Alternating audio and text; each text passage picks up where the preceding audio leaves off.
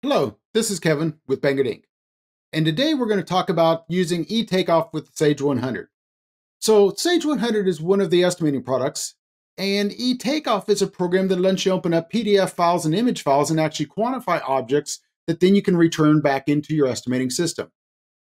In the overview, we just kind of went through a very quick pace of kind of bringing numbers from the eTakeoff into 100. So in this session, we're going to basically go back and, and slow down a little bit. We're going to create a new project and then bring the quantities over. And all we're going to look at right now is getting the project created and doing some linear footage measurements and some modifications. So let's get started. So here I am in my Sage 100 and I'm in my takeoff. I'm going to right hand click, tell it that I need to add a column and I want to put my assembly column on and I'm going to say my extended quantity on. So in my assembly column here, I'm going to go to my drop down list and I'm going to find the uh, assembly associated with one of the footings that I want to start off with. So I'm going to say that this one here is the assembly that I want. So it's got all the different items in my assembly, and over here is where I need a quantity. So I'm going to right hand click and tell it to go grab a quantity for me takeoff. Now, typically, I probably have a uh, image already in here, already set of prints going, so that way, because a lot of people like to look at a set of prints before they start doing takeoff. But in this case, I'm just going to kind of show you just a little bit more about eTakeoff and how to create projects and so forth also. So I'm going to go up to new.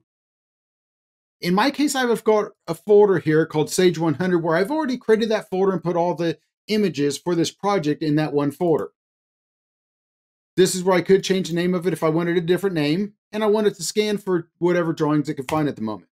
So it's going to go through, and I've got a bunch of uh, TIFF files at, at the moment and sitting in there. So as soon as I hit add, it's going to bring them in. And I'm going to jump right to the structural page here so we could do some footing takeoff. So this is kind of a bird's eye view to let me see where I'm at. So as I spin my wheel and zoom in, it's very typical to lose your place with your where you're at in image file. So the bird's eye view is kind of handy because it'll just let you see where you're at. And it's also kind of handy because you can click and hold and actually move it around. So instead of zooming out or back in or grabbing borders of the page or anything like that, that way I can check and see what scale I'm looking at. So in this case, I'm quarter inch. So up at the top right corner there, I'm going to click on the scale button and I'm going to go set our scale for this project. So at this point, I'm ready to start doing some measurements. And in this case, I'm just going to do two footings and I've kind of picked these uh, smaller lines for one of my footings and then these wider lines or uh, uh, different footings here for the second one I'm going to do. So I'm going to start off with clicking on the length and I'm just going to start tracing out where that smaller line goes. So I'm going to say that's one point of it. I could hit disconnected points or hit the letter G. Does the same thing for disconnected point, and then I could come back through here. And I'm going to skip some of this so that way I have something to come back and, and uh, put in the system in a moment. I might also come in here then and click on length again. And maybe I want to start taking off my second dimension. So I could come in here and uh, let's say it's going to go from maybe this point on through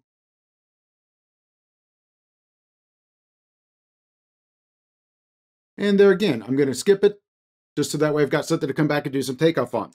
So there I've got two dimensions taken off. And, and right now, because I haven't necessarily labeled either one, I really can't tell the difference between one and the other. So I see 49 foot of one and 110 foot of the other. So this second one here is what I've just taken off. So I'm going to go ahead and right click on it. Say I want to edit the trace in this case, just so I could kind of change the color up, change the description a little bit. So in this case, this was going to be my footing two and this footing was actually going to be a, um, oh, what did I think that That was going to be a two and a half foot wide by 36 inch. And maybe I want to go ahead and make that uh, orange. So now I can start really see a definition difference between the one footing I took off and the first one I took off. So there again, I'm still going to come back to this first one and say I want to edit the trace on it too, because Still want to be a little bit more descriptive than what I was the first time. So I'm going to say that footing one was going to be a, a six inch by 12. And you don't necessarily have to put the size in there or even the node in there or anything of that nature. Uh, in my case, I think it's a little bit handy just for the fact of it, it views a lot easier if you got to come back and make any sense of this later. And it also kind of gives you the opportunity if if you wanted to come back and check a spec book and see if you were right and so forth on on what your sizes were or, or, and so forth. So in this case here, footing one was what I first started in my e-takeoff. So I'm going to right click on that dimension and actually say return that back to estimating and drop my number right into my estimating. As soon as I hit calculate, it's going to go ahead and do my extension. So here's my quantities of each one of these lines. Here's what the extended money is. And I've got some sort of a total cost at this point in time. And e-takeoff will basically ask you from time to time if you want to save it. So I'm going to say yes. And that might be my first assembly. And then I'm going to come back and do my next footing. So I might come down through the list here, pick my next one, needs a quantity. I'm going to right click. I'm going to tell it that I want to grab something from e-takeoff. I'm going to pick my second footing there, and I'm going to tell it to return that back to estimating. Hit my calculate, get my extensions, my new dollar amount. So that's basically those two linear footages. Coming back and making changes are very popular. So there are some times that I might want to go back through and I found some new takeoff, something changed, whatever the case may be. So I'm going to go back to my e takeoff here and take a look and decide that, you know, oh, there's some more uh, type one that I missed. So I could come back in here and if I hit my G for disconnected point again, you know, I might say point one and maybe we'll say that goes down to here. And maybe I've got something down here and I'm going to go ahead and skip that for a moment yet. Uh, then I'm going to come back and actually click on my footing type 2, hit disconnected point again, and let's say that footing 2 has some uh, additional footage going along.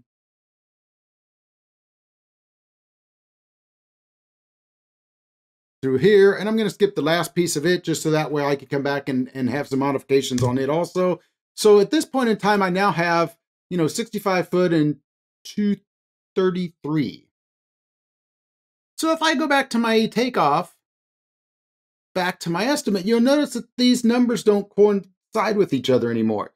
Now, if I knew I made a change to these numbers, I could come back in here and right click tell it to update the value. And if it had changed, it'll update it. So, you know, that's not necessarily too difficult. So I can come back in here and update them. Now, I might also, though, want to come back and actually have many modifications that maybe I don't know what's changed. So I'm going to go back to my e-takeoff some more, and I'm going to come back and do some more takeoffs. So I'm going to go ahead and say that there was another segment of uh, footing two that went along here.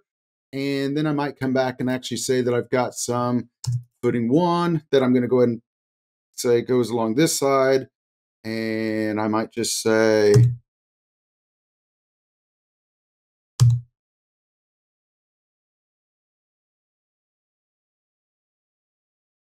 Now this one here looks like I was a little short on it that I really wanted to come up here and say that extend it farther. So I'm also going to click on this one here and you'll notice that's where my endpoint is at the moment. So I'm going to say I want to edit a point and actually just extend that just a little bit farther than the first time when I did it.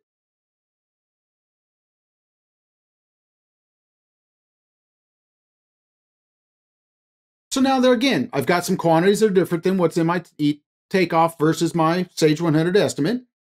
So if I go back to my estimate, another way of updating the estimate is actually under update and takeoff. There's an option for quantities from e-takeoff. If I go in and click on this, both of those numbers change at the same time because both of these links knew that the takeoff had changed. So that could be a very, very quick way of making sure that you've got things under control as far as uh, you know revisions and things of that nature and and um, going in there and so forth. So I'm going to go ahead and hit save to save what we've done so far. And that pretty much concludes doing linear footages from my takeoff. If you have any other content that would help you out, please make sure to drop us a note at our coordinator at bangertinc.com. Also, this is just one of many uh, videos that we're doing. So uh, please go ahead and go to our YouTube channel and subscribe so that way you can keep up to date on any of the content coming out. We've also got a site called Buildcast, which is a lot like a podcast with different people in the construction environment and so forth uh, on different topics. And then also we do online webinars and classes for free of charge that this link will actually allow you to get to so that you can find out more information on that content too.